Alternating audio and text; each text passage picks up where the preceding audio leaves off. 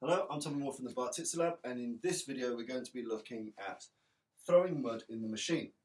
What I mean by throwing mud in the machine is that the brain is a computer and it's a really, really, really good computer and it solves problems very, very, very fast.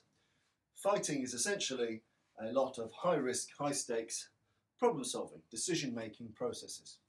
And the more I can do to disrupt his decision making processes, the more successful I am more likely to be. Now, when we look at some of the staple techniques of, say, World War II combatives, one of the things I recommend is the notion of throwing mud in the machine. And what I mean often by that is when you disrupt things on a sensory level up top, when you mess with people's command center, their head, often all other systems and processes get delayed. The human body is very, very careful to protect the head. It wants the head to be safe. And essentially, the general's view is the eyes. So, when we talk about throwing mud in the machine, let's say I throw an initial lead hand blow here. Just a normal palm strike straight to the face.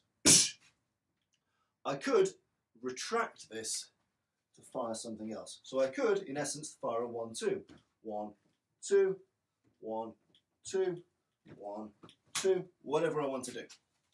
But if I maintain after I strike, if I maintain a grip of this face, of hair, ear, beard, nose, mouth, eyes, if I treat this as a grippable object and I maintain that on there, I'm essentially throwing mud into his highly tuned machine.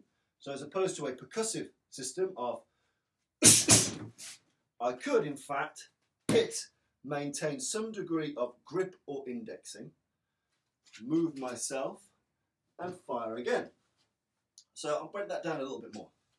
Indexing is where the hand touches or has a notion of where the body is. So if I hit him and then put my hand here, I have some control of where he goes, what he does, but more importantly, I've got a bit of a, a guideline as to what I can hit, where I can go. So indexing is essentially making sure you can touch or subtly manipulate the opponent. It's a soft manipulation. If you wanted to escape from this, of course he could. He just needs to step back. But the indexing is essentially, I know where he is, I know I can reach him because my hand's on him, I can do something else. So people that are very good at sucker punching will touch you on the shoulder, hit you in the face. Touch your arm, hit you in the face.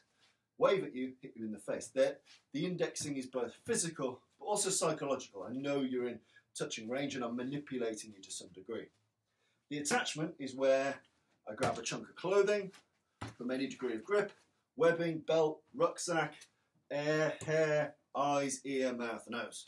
So if we're looking at this initial strike here, I maintain an attachment or at least an index, so I'm grabbing a lump of face. Whether I get a full solid grip or whether I'm just touching it, it doesn't really matter. He has to deal with this. Now, people can deal with this relatively quickly, but it's thrown a bit of mud into his machine. So, I fired that tiger claw here. Now, like all good snipers, I've landed a shot. I need to reposition because his computer still knows that the person that was Tommy Moore is still here. Once I've done this, whilst this it disrupts his decision-making process, he can still lash out at me with his hands. But I essentially disrupt his OODA loop, disrupt his observation and orientation by moving offline and firing something else. So if you think of it very basically, it's the notion of maintaining sticky contact once you've hit, especially into the command center, to disrupt his ability to observe. He can't really see me, or can't see me very well. And to orientate, it's hard for him to know where I am, especially if I obstruct and I reposition. So it's a good argument for keeping the hand in the face and on the space. Now people might say, oh, what if he bites you? What if he does this? In reality, this is half a second.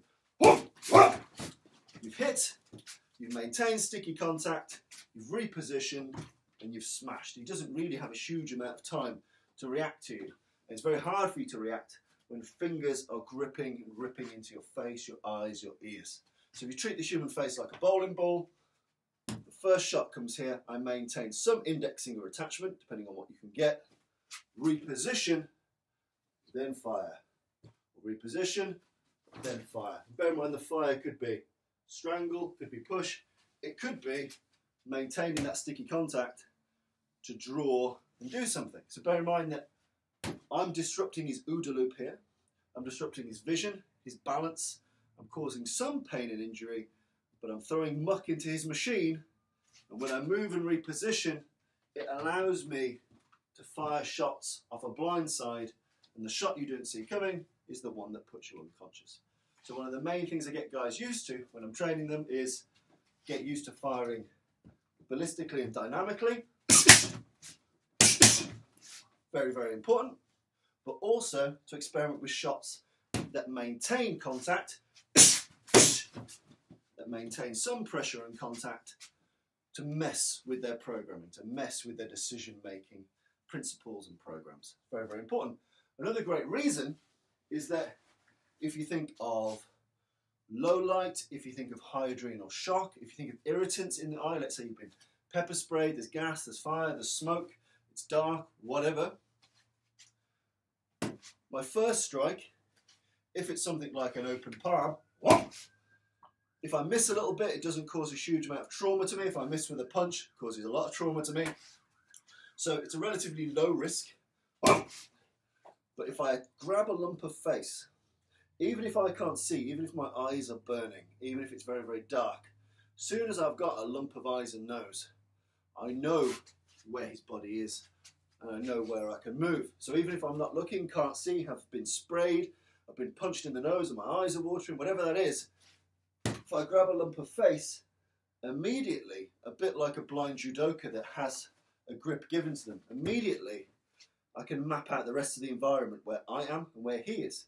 So even without my eyes, I've still managed to observe and orientate. So even if it's dark, I've got adrenal stress, smoke or irritants, if I maintain that sticky contact, I then know exactly where he is for that millisecond it takes me to shuffle and smash, do something else. I can strike with safety and surety because I've maintained some attachment to that human being.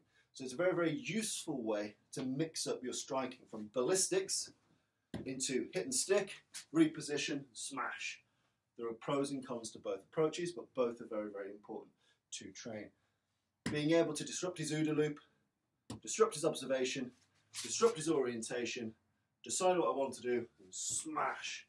So I'm making my OODA loop very short because I've already decided what I can do because I know where his face is, and I've made his OODA loop very long because he's still stuck in those first two O's, which allows me the time and ability to do something else. So those are some of the advantages of maintaining contact. And you'll see this in combat sports all the time.